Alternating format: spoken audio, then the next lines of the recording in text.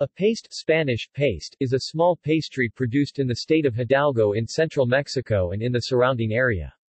They are stuffed with a variety of fillings including potatoes and ground beef, apples, pineapple, sweetened rice, or other typical Mexican ingredients, such as tinga and mole.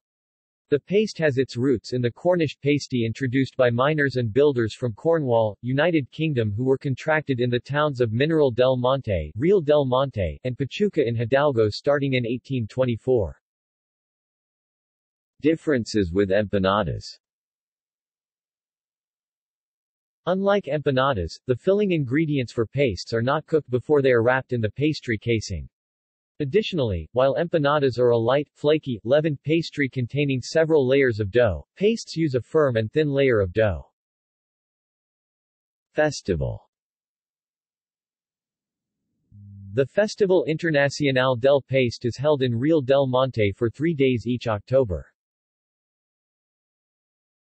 See also Cornish emigration to Mexico List of stuffed dishes. References. External links.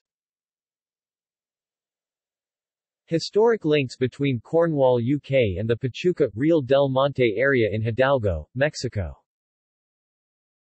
The Cornish in Latin America. Exeter, Cornish History Network, University of Exeter